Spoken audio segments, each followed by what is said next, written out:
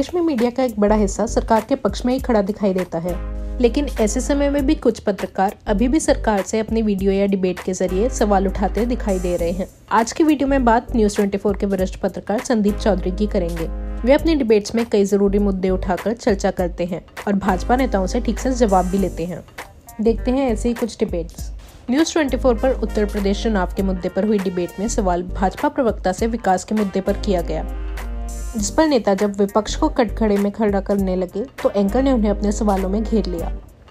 किसानों की मृत्यु के आंकड़े पर सरकार की तरफ़ से आए जवाब पर हुई डिबेट में एंकर ने इस मुद्दे पर सवाल भाजपा प्रवक्ता से किया।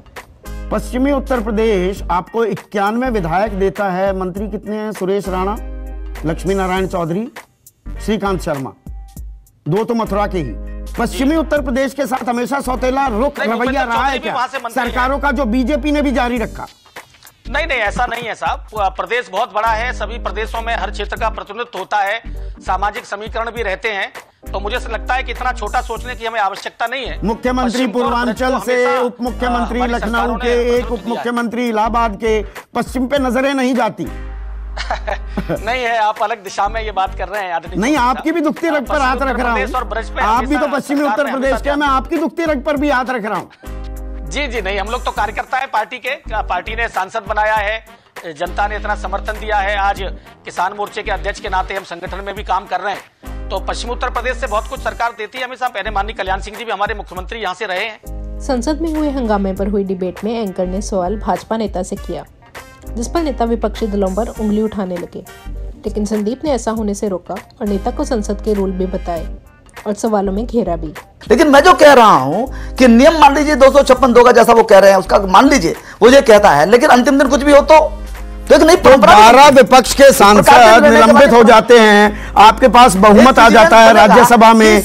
आसानी से बिना चर्चा कानून बनाएँगे का संज्ञान लिया विधेयक को पेश करेंगे कानून बना देंगे। ये न्यू नॉर्म हो गया है कि बिना चर्चा अब कानून बनेंगे देश में। ये उसी और एक कदम है क्या? नहीं नहीं देखिए एक जो है यदि पिछले सत्र का अपवाद लिया जाए जिसके अंदर चर्चा होने ही नहीं दी गई पहले दिन ही ये इशारा कर दिया गया था और उदाहरण दिया गया था उसी सत्र का पंद्रहवीं लोकसभा के सत्र का। उदाहरण देकर के कहा गया कि वॉश आउट किया था तो हमारा भी लगभग यही मतलब हमारा भी इरादा ये पहले दिन बता दिया गया था।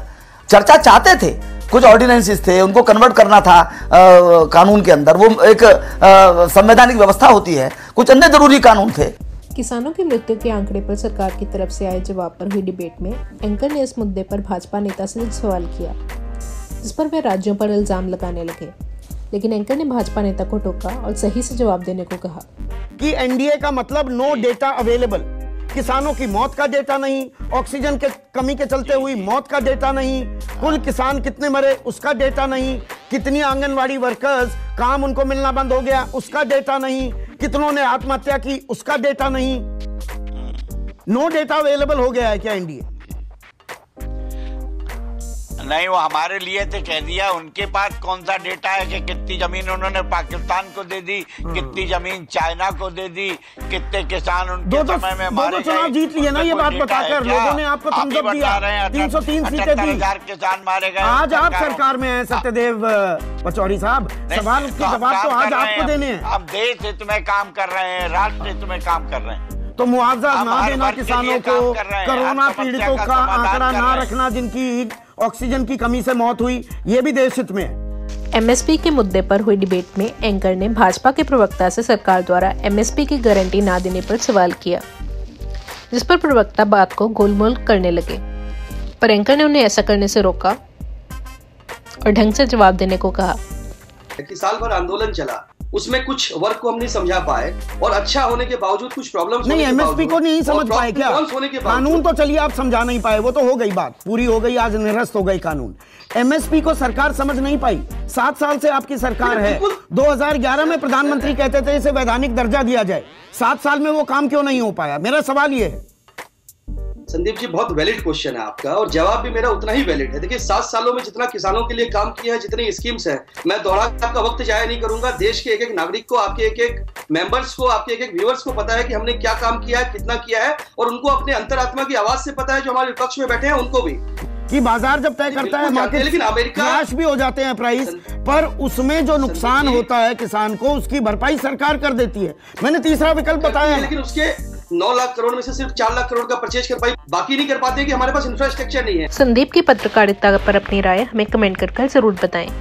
ऐसी और वीडियो देखने के लिए बने रही हमारे चैनल के साथ। Punjab Today report If you like our channel, please subscribe and to get notifications about news, please click the bell icon.